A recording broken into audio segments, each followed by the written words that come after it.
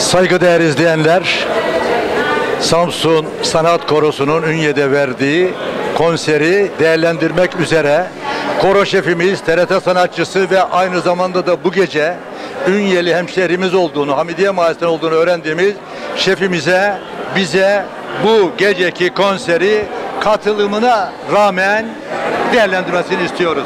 Önce kendinizi Ee, tanıtır mısınız?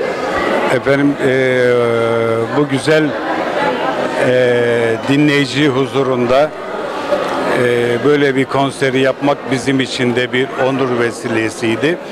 Bizler Samsun Güzel Sanatlar Akademisi Türk Müziği Derneği olarak eee, diğer korolardan daha ayrı bir nosyonumuz var. Bizler eee, il dışı ve yurt dışı konserleri yapıyoruz. Eee, bu konserlerin sadece Ünye bazında değil diğer ilçeler bazında olmasını da temenni ediyoruz. Biz her zaman varız bu konuda. Samsun Güzel Sanatlar Derneği olarak.